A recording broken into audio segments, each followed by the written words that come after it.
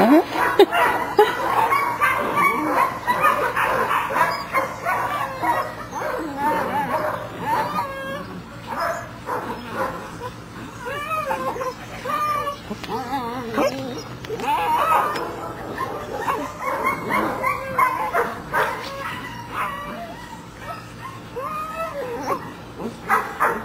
making a dipper and mark.